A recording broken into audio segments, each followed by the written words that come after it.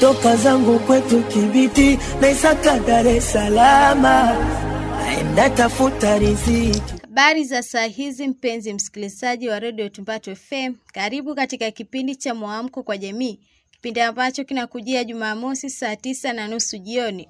Ndugu wamenitupa wowo, pesa hakuna, chakula hakuna, matatizo Msikilizaji, leo pia katika kipindi chetu tunaendelea kuangalia baadhi ya athari zilizojitokeza kwa wanafunzi katika kipindi cha korona, na utasikia simulizi kuhusu maisha ya wanafunzi yalivyokuwa pamoja na mategemeo yao katika kujitayarisha na mitihani yao ya taifa. Mwandaaji wa kipindi hiki ni Rehema Makame na msimulizi wako ni mimi Nachumlanja. Karibu. Wamepoteza mwelekeo wa masomo yao katika kipindi chote cha janga hili la korona, kwa mujibu wa mazingira ambayo wanaishi. Athari nilizozipata, kwanza, athari ya kwanza kutokuwa kupata usomaji mie pamoja na wenzangu. Kwa hivyo niwaombe sana wazee washirikiane na watoto, wawanasihi warudi skuli, waendelee na maisha ya skuli, kwa sababu hayo ndio maisha yao ya baadaye yanavyojengwa. Kiukweli sisi kama asasi za kiraia, basi tumepata funzo kubwa. Inatubidi sasa tuwe na tahadhari kubwa na maandalizi makubwa, ili kuweza kujipanga, ili watoto hawa, linapokuja janga kama hili, Mungu aepushie, lakini linapotokezea janga kama hili, tujue kwamba kunakuwa kuna utaratibu gani watoto kuweza kufadhiliwa na kuweza kusimamiwa, ili inapotokezea muda watoto wameruhusiwa kurudi shuleni, basi wanarudi kwa ukamilifu. Msikilizaji, utakumbuka kuwa kwa muda wa miezi mitatu nchi yetu ilitangaza kuzuia mikusanyiko, zuio ambalo pia ililazimu kutekelezwa na Wizara ya Elimu na Mafunzo ya Amali Zanzibar kwa kufunga shule ikiwa ni moja ya eneo lenye kuruhusu mikusanyiko na mwingiliano wa watu katika kufuatilia huduma za kielimu. Je, mapokezi ya zuio hili kwa upande wa baadhi ya wanafunzi ilikuwaje? Mtazamo unaonyesha baadhi ya wanafunzi walitamani kuitumia fursa hiyo kufanikisha malengo yao binafsi ikiwemo kutembelea ndugu jamaa pamoja na kujishughulisha na kazi ndogo ndogo kwa ajili ya kujipatia chochote, jambo ambalo ni kinyume na malengo ya serikali yaliyolenga kudumisha usalama wa raia na mali zao. Yote hayo ni kusema kuwa tuipongeze Serikali ya Mapinduzi ya Zanzibar kwa kufanikisha sehemu ya malengo hayo ambapo kwa mara ya kwanza tumepokea gonjwa hili na kulishinda. Si bure. Serikali kwa kuthamini usalama wa raia ilichukua jitihada za kipekee katika kuhakikisha wananchi wote wanapata uelewa juu ya matumizi ya kinga dhidi ya maradhi hayo.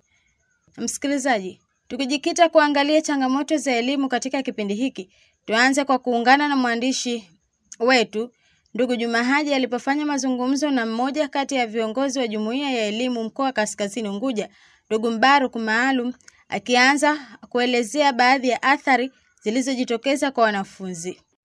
ya kwamba ugonjwa huu baada ya kujitokeza, kundi kubwa ambalo limeathirika ni lile la la watoto, yani wanafunzi wa mashuleni pamoja na na vyuo vya Kiislamu, yani madrasa. Cha kwanza ambacho kimejitokeza ni ile hali ya kukosa masomo wanafunzi. Kwa hiyo wanafunzi hawa wakiwemo wale wa skuli za za, za, za serikali na wale waliokosa ma, mafunzo yani masomo kwa kwa vyuo vya dini ya Kiislamu.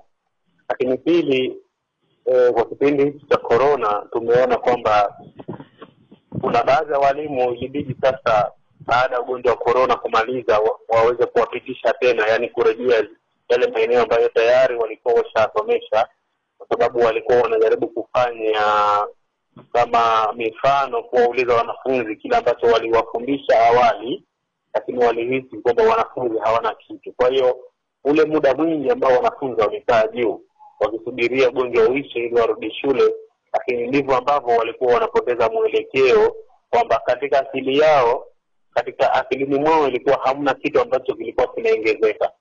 Kwa hivyo iliwabidi walimu waweze kuwarejesha, yani kama kuwa- kuwapitisha tena upya, ili waweze kupata angala ukumbusho kwa kule ambako wali walitokea. Lakini cha tatu ni baadhi ya maeneo wanafunzi wengine walitumikishwa na wazazi wao, kwa sababu ugonjwa wa korona huu baada ya kujitokeza mashule na vyuo vya Kiislamu vilifungwa, lakini kulikuwa bado kuna nafasi ya wao kuweze, kuendelea kufanya shughuli nyingine ambazo zilikuwepo katika jamii. Wengine walikuwa kwenye michezo, maanake michezo ikawa imefika hatamu, lakini kuna wengine wawili watatu, wazazi wao walikuwa wanajaribu kuwapa biashara ndogo ndogo kwenda nazo maeneo kama vile masokoni, au wengine walikuwa wanaenda kuhangaika maeneo ya pwani, yani bichi. Wengine kwa mfano kama sisi tuliotaliwa na ukanda huu wa wa pwani ya fungu refu Mkokotoni humu, kwa hiyo unakuta watoto wamejazana maeneo kama hayo, wanaranda, wanauza majuisi, watoto wanafanya biashara ndogo ndogo, wanatumwa huku na kule ili kuweza kupata chochote, na kwa sababu mtoto anakwambia hakuna chuo, hakuna skuli, kwa hiyo hata wewe unashindwa tena kuwa na hoja, sababu hujui sasa kitu gani kingemzuia, kwa sababu kidhibiti kikubwa kinakuwa ni chuo na na skuli. Lakini athari nyingine eh, kuna baadhi ya watoto wamepoteza mwelekeo wao wa matarajio, kwa sababu siku hizi tumekuwa na utamaduni wa kuwa na kambi zile za wanafunzi, kwa sababu tuna lengo kwamba kuna wanafunzi wana uwezo mzuri na kuna wale ambao wana uwezo mdogo. Sasa mara nyingi tunakuwa tunaweka kambi kwa wale ambao wana malengo binafsi na kuna wale ambao walimu kama wao wanawaangalia kwamba wana uwezo wa kuperform, yani ku, kuweza kufaulu vizuri.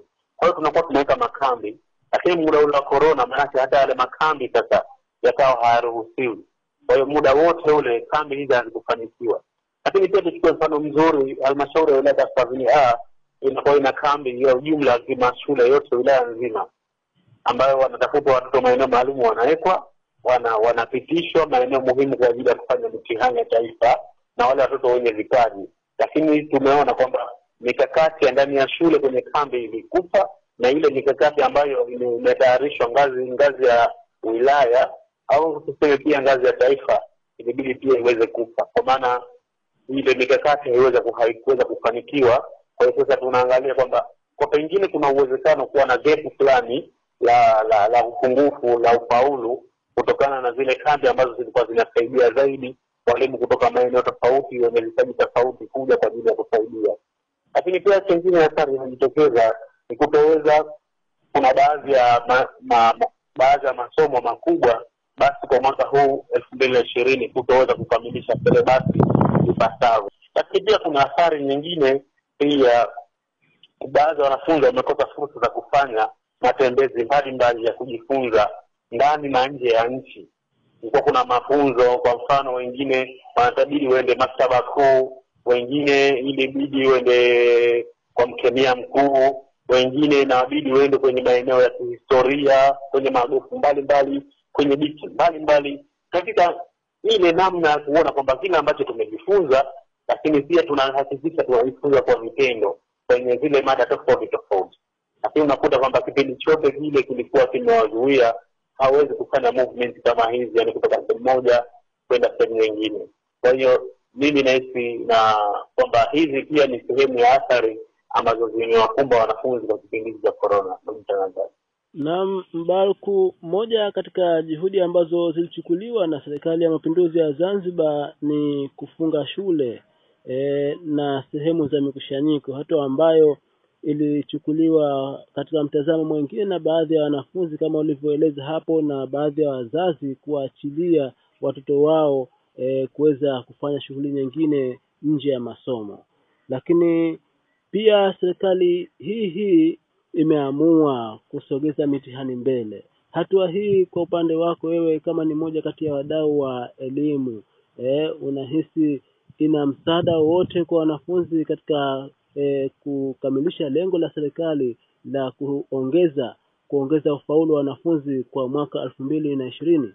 E, ni kweli ndugu mtangazaji kwamba katika kuhakikisha kwamba kama Zanzibar, Tanzania ni sehemu ya ya janga hili la corona, kwamba jitihada mbalimbali zilichukuliwa na jitihada ambazo zilichukuliwa zilikuwa ni sehemu moja ambayo ime, imedhihirisha ulimwengu kwamba Watanzania pamoja na, na Zanzibar kwamba wanaonekana si watu legelege katika kufikiria na kuona kwa namna gani tunaweza tukajikinga, lakini tuseme tu kutokana na na, na, na uelewa wa jamii kwamba kujitokeza kwa hili janga, watoto kubakia mitaani kuna baadhi ya wazee ambao tuseme wao aidha kwa kutokujua kwa kutokujua vizuri zaidi kipindi kama hicho ilibidi kwamba wakawa wanatumia kwa njia nyingine tofauti ambazo zingeweza kuwawezesha watoto kukaa na kutulia. Na pia mfano mzuri tuone kwamba serikali baada ya kuzuia ilikuja na na mbinu nyingine yani ile mechanism tunaita wakasema sasa kwamba tutaandaa vipindi vya online tutapitia maredio lakini pia tutapitia mitandao ya jamii. Lakini kwa bahati mbaya mazingira ya kwetu zaidi ya shamba watoto wengi hawana uwezo wa kutumia tuseme mitandao ya kijamii kwa sababu kwanza kama ni mtoto kwanza hastahiki. Lakini pili majumba yetu mengi yaweza kuzunguka nyumba kumi. Katika kumi moja ndio ina tv ambayo inaweza kumwezesha mtoto mwingine akatafuta vipindi ambavyo vile ambavyo vimeelekezwa kwenye kwenye miongozo mbalimbali kwamba kuna kipindi hiki vya tv hii na hii. Kwa hiyo kuna wazee ambao wametumia fursa hizo. Kwa hiyo kuna baadhi ya watu wametumia vipindi vya korona vizuri katika kuwawezesha watoto lakini kuna baadhi ya wazazi wametumia vibaya. Maana hiyo kwamba jitihada ambazo zimechukuliwa na serikali hazikuwa mbaya sana hazikuwa mbaya zilikuwa ni nzuri na kiufupi kwamba zimeleta manufaa na tuna matumaini makubwa kwamba serikali baada ya kuona kwamba changamoto hii ilojitokeza baada ya watoto sasa kuanza kuanza kurejea kuanza vipindi vyao kwanza imeongeza siku za masomo ambaye sasa kutoka ile jumatatu hadi ijumaa lakini ikiongezwa sasa iwe kutoka jumatatu hadi jumamosi ili kuongezeka ile siku moja kuweza kukava vizuri vile vipindi. Lakini pia huu muda sasa wa kufanya mitihani kupelekwa mbele. Hii yote ikiwa inaonyesha kwamba serikali ina nia ya dhati na ina matarajio ya kuleta ufanisi kwa wale watoto wetu. Sio tu kuwafanyisha mtihani na kuwapeleka mbele lakini pia kuona kwamba mwaka huu vile vile kwamba tunautendea haki na si tu kutendea haki mwaka lakini pia tunawatendea haki vijana wetu. Kwani tunafahamu kwamba taifa la kesho linajengwa leo. Sasa tukisema tu tuwapeleke mwaka huu ndo umepita kwa sababu ya korona kwa hiyo tutakuwa hatukuwatendea haki na tutakuwa tunajenga taifa lililokuwa ni bovu kwa hiyo serikali ni kweli imechukua jitihada nzuri na lazima tuipongeze kwa hivyo kwa sababu wana nia dhati na wanaona kwamba uhalisia ni ile kupeleka muda mbele ili yale matayarisho zaidi ya hawa watoto yaweze kufanyika kwa ubora na kwa ufanisi Naam, asante. Tukibakia hapo hapo, tukiangalia swala so zima la wanafunzi baada ya kutawanyika kutokana na hili tatizo. E, kuna wale ambao wamerudi shule ambao ndio hawa ambao tunawazungumza kwamba serikali imeandalia utaratibu na hatimaye muda ukifika ataweza kufanya mtihani wakiwa katika hali nzuri, lakini kuna wale ambao kwa bahati mbaya mpaka sasa hawajarudi ukizingatia kwamba tayari e, moja katika taratibu za serikali e, wizara ya elimu wanakuambia kwamba e, sheria zao wanasema kwamba mtoto akikosa kurudi shule ndani ya miezi mitatu wanaamua kumrudisha darasa ama kumsamehe kabisa sasa katika hali kama hiyo nyinyi mkiwa kama sehemu ya taasisi ambazo zinasimamia masuala ya elimu e, na tayari sasa hivi shule zilifunguliwa juni Agosti imepita na Septemba ambayo ndio hii hapa tunaendelea nayo. E, ikiwa itamalizika hii Septemba na wale wanafunzi bado hawajarudi shule, mkakati wenu nyinyi kama wadau wa elimu ukoje juu ya suala hili la kuhakikisha kwamba wanafunzi wanapata elimu kama ilivyo taratibu na kwa kuzingatia e, uhamasishaji wenu?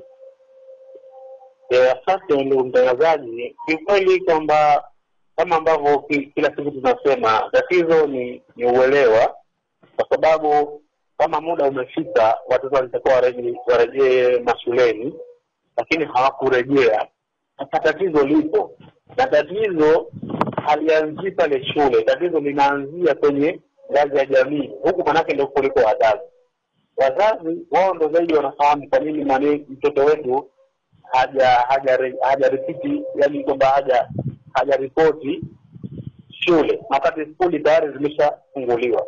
Kwa maana kuna kazi kubwa ya kufanya baina ya asasi za kiraia lakini tukishirikiana na kamati za skuli kuhakikisha kwamba tunakuwa karibu zaidi na ile jamii sababu jamii ndio yenye watoto tukawa wawe wanatueleza na sisi ilibidi tufuatilie kwamba ni kwa nini watoto sasa shule zimefunguliwa lakini kwa nini hawajarudi shule hadi muda huu? Kwa hiyo nahisi kwamba hili tatizo zaidi linaanza huku ngazi ya ngazi ya jamii. Sisi kama wazazi, sisi sehemu kama kamati za za, za skuli na, wa, na wadau, basi tuna- tunafikiria kwamba eh, huyu mzazi hajakuwa tayari, sababu sisi inabidi sasa tuache shughuli zetu zingine za za, za, za, za kutengeneza maswali mengine yakiwemo kwenye hilo la shule, lakini tumpate mtoto nyumbani mmoja baada ya mwingine ukilinganisha na wakati huu sasa si, si muda wa kufuatilia watoto nyumbani isipokuwa sasa tuone ni kwa nini kwamba muda huu sasa tumekosa kufanya kambi je jitihada gani kuhakikisha kwamba tunakuwa na kambi nyingine mbadala za kuwasaidia watoto badala yake sasa tunarudi nyuma ili tuka- tukatizame nani na nani sasa hakuripoti shule na hawezi kuripoti shule. Kwa hiyo ni kweli sisi kama asasi za kiraia tunahisi changamoto ni kubwa lakini kwa mwaka huu na muda ambao namna ambavyo umekwenda basi tumepata funzo kubwa.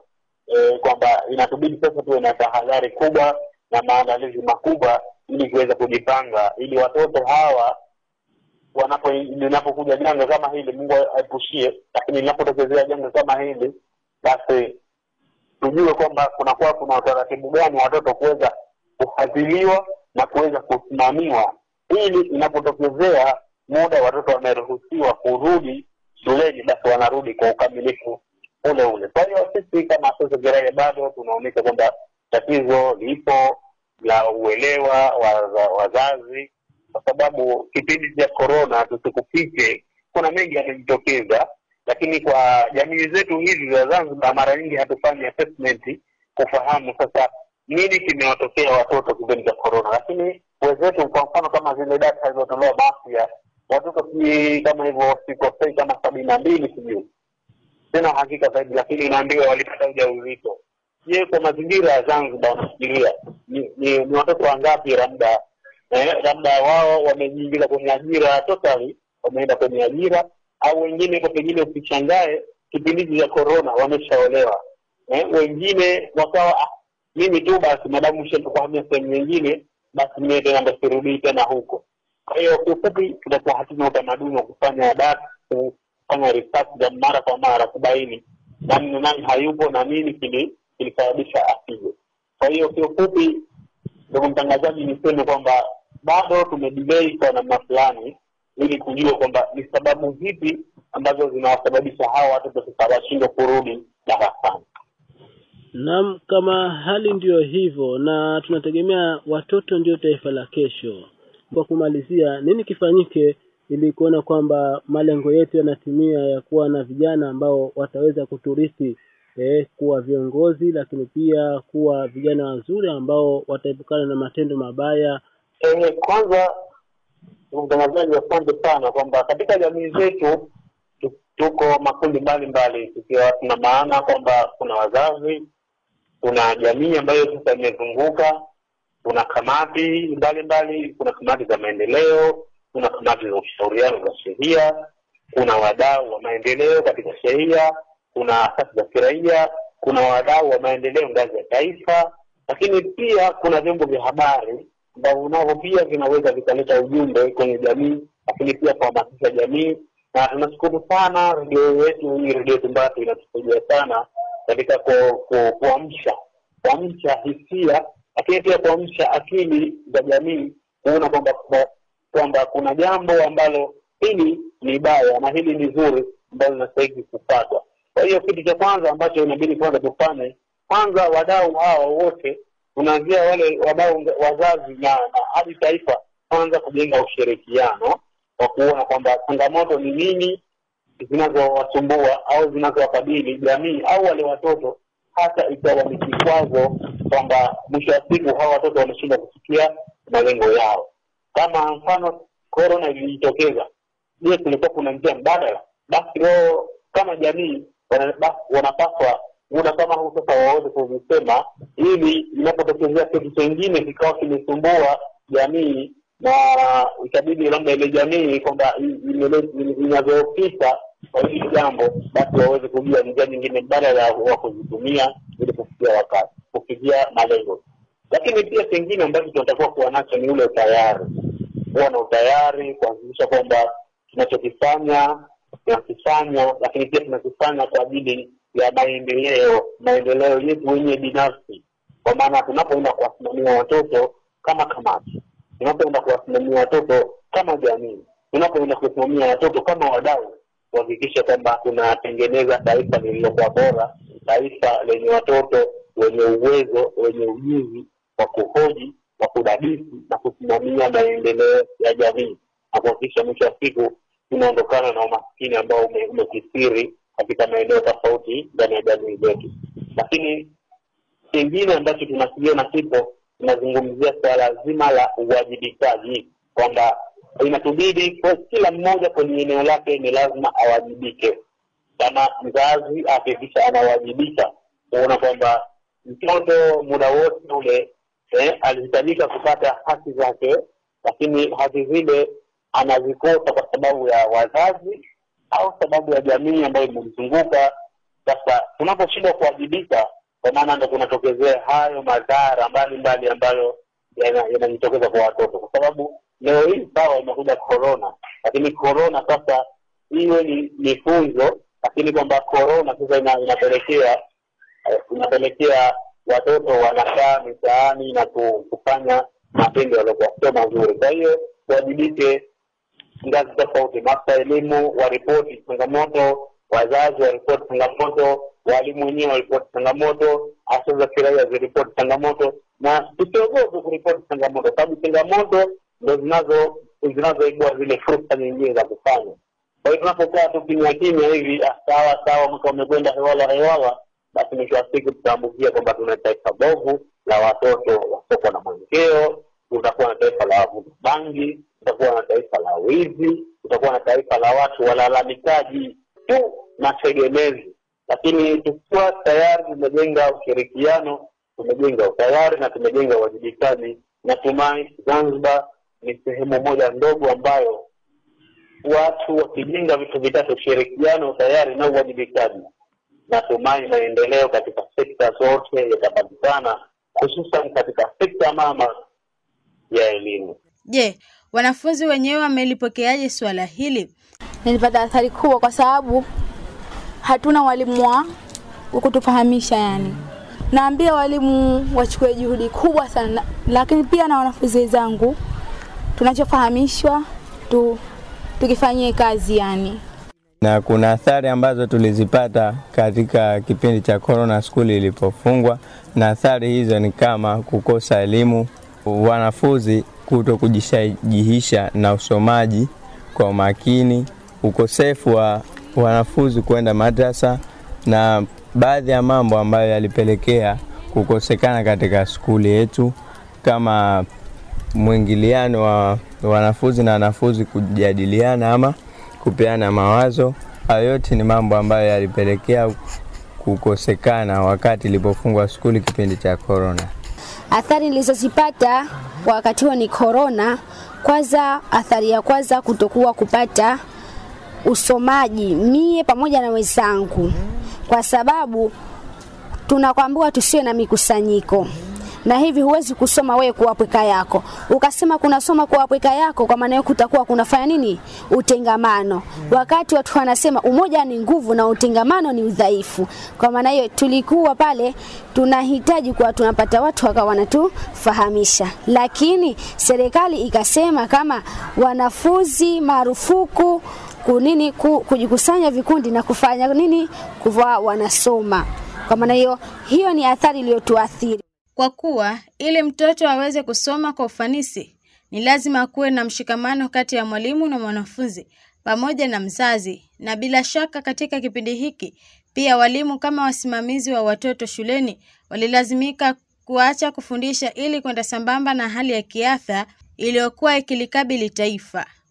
Mwandishi wetu Rema Makame amezungumza na mwalimu Fumhaji Khatibu kutoka shule ya sekondari Tumbatu. Kwanza ametaka kujua kutoka kwake namna ambavyo tatizo la korona lilivyoathiri maendeleo ya elimu kwa wanafunzi. Ah, athari zipo nyingi kama tujuavyo, wanafunzi wetu na mazingira wanayoishi. Athari kubwa ni kwamba wamepoteza mwelekeo wa masomo yao katika kipindi chote cha janga hili la korona.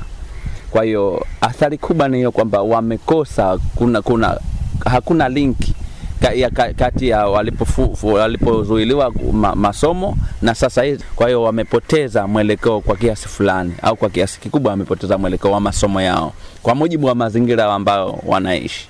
Kwa upande wa wanafunzi ambao wanakabiliwa na mitihani, kwanza ni niseme tu kwamba tuta tutachukua hatua, hatutawacha hivi hivi, lazima tuchukue hatua ili angalau waje wakabiliane na mitihani, kwa sababu vinginevyo basi tujiandae na, na, na kumbo kubwa la wanafunzi ambao watafeli.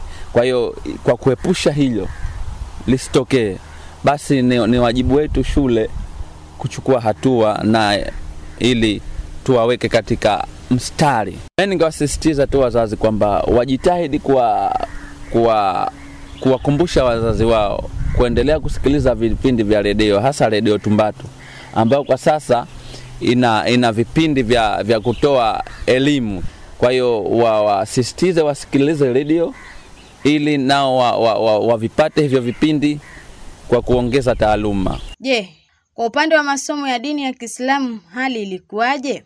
Huyu hapa ni Bwana Gora Hamisi, ni mmoja kati ya walimu wazoefu kutoka Madrasatul Ikhwani Alqadiria iliyopo Tumbatu Vivini. Amezungumza na mwandishi wetu Rema Makame akiwa katika harakati za kufundisha. Ndugu mtangazaji, kuna athari nyingi sana kwa watoto wetu. Kwanza moja, watoto kuwa na kurudi nyuma katika suala zima la ufahamu.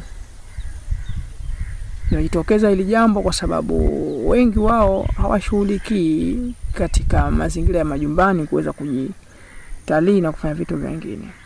Watoto wameongezeka kufanya kazi za ajira. Athari hii imejitokeza kwamba wengi wao waliokuwepo wako katika maeneo ambayo ya kwenda kutumikishwa tumikishwa, sasa hivi wamezagaa, wanafanya masuala ya ajira za watoto, ikiwemo kwenda kutafuta mawe, wengine wanakwenda pwani, alimradi kutumikishwa tumikishwa katika maeneo majumbani zaidi kuliko ile swala la kusoma. Kwa hiyo swala la kusoma limeachwa nyuma sana kuliko swala la kutumikishwa na wao wenyewe kujiajiri watoto kutokana na athari ya kuto kuwepo kwenye maeneo ya madrasa. Lakini jambo jingine ambalo lipo ni kuwepo kwa mtazamo wa watoto, wamejenga mtazamo kwamba inawezekana, kumbe mtu akawabakia bila ya kusoma mtazamo mbaya, na tunaweza tukawa na kazi ngumu sana ya kuwarejesha watoto. Wimbi la utoro litazidi kwenye madrasa, kwa sababu tayari watoto washakuwa na mtazamo kwamba inawezekana mtu akaishi bila ya kuingia katika taasisi. Athari nyingine inatokana na kwanza, kwa upotevu wa vifaa vya kusomea. Watoto wengi sasa hivi watahitaji kupewa vifaa wengi wao washavipoteza na hawana habari navyo, hawakuvizingatia kwamba ni wavitunze na vifanya vingine. Kwa hiyo kuna upotevu mkubwa wa vifaa kama vile masahafu, juzuu, na kwa upande mwingine tulikuwa tunatumia mbao kwa ajili ya kuwafundisha maandishi. Kama wazee na walimu hawatojikaza, basi wimbi kubwa la utoro litakuwepo. Mzee asiwe na uzito wa kutafuta gharama ya kumpa mtoto wake kwa ajili ya kutafuta kifaa cha madrasa. Na je, hali ikoje kwa sasa ambapo hapa Zanzibar shughuli za mikushanyiko ikiwemo mikushanyiko ya mashuleni zimefunguliwa kwa sharti la kuendelea kudumisha tahadhari katika maeneo hayo? Kutaka kujua kauli ya serikali, tumemtafuta afisa elimu mkoa wa Kaskazini Unguja, na hapa wanaelezea mazingira ya utoaji wa elimu yanayostahiki kuendelezwa kwa kuzingatia tahadhari. Kwa hivyo tusije tukafika mahala tukajiacha, tusije tukafika mahala tukajisahau. Tunatakiwa tuendelee kuchukua tahadhari, na tahadhari hii imeondoka ile ya kiserikali, tumeachiwa tahadhari yetu wenyewe binafsi chini ya uangalizi wa hiyo hiyo serikali. Unatakiwa sasa usingoje kuambiwa tena na waziri wa afya vaa barakoa, uwe mwenyewe sasa ujiambie vaa barakoa. Usingoje kuambiwa nawa mikono, uwe mwenyewe ujiambie. Kwa hiyo sisi kwa upande wetu bado tuna jukumu la kuhakikisha kwenye maskuli sisi maafisa, walimu wakuu, walimu wa, wa madarasani wa kawaida, kuendelea kunasihiana na kuambizana sisi na wanafunzi wetu na walimu kuendelea kufuata yale masharti ili haya maambukizi yasije kabisa. Na ni upi msimamo wa serikali kwa wanafunzi ambao hawajarudi shule baada ya shule kufunguliwa kwa kupisha kipindi cha uwepo wa tatizo la korona? Afisa elimu anatuelezea. ningewaomba na kuwanasihi sana wale wanafunzi wetu ambao wamebaki majumbani na humo mitaani maskani baada ya kufunguliwa skuli hawajarejea tena skuli. Tunayo kanuni katika wizara ya elimu ya miezi mitatu.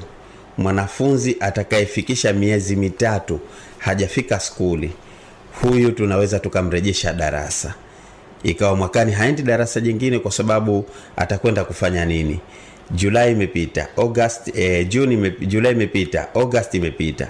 Na hii septemba ikipita ina maana huyu mwanafunzi atakuwa na miezi mitatu hata tukimpeleka darasa jingine amekosa lesson za miezi mitatu hawezi kufanya kitu kizuri mbele. Kwa hivyo huu ni muda wake mwafaka bado nafasi anayo ya kurudi skuli. Niwaombe sana wazee washirikiane na watoto wa wanasihi warudi skuli waendelee na maisha ya skuli kwa sababu hayo ndio maisha yao ya baadaye yanavyojengwa. Na mpenzi msikilizaji wa redio Tumbato FM, na kufikia hapa ndio mwisho wa kipindi hiki kwa siku ya leo. Nashukuru wale wote ambao wamenisikiliza. Kumbuka mwandaaji wa kipindi hiki ni Rehema Makame, nami msimulizi wako ni Nacho Mlanja. Nawatakia siku njema, asanteni na kwaherini. matatizo makubwa, weke umenikumba, pesa kuna, chakula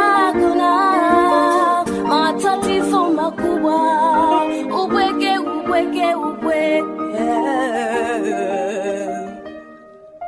Faraja na kuita faraja, uko wapi faraja? Oh, mawazo yanaua faraja, na kuhitaji faraja. Oh, faraja na kuita faraja.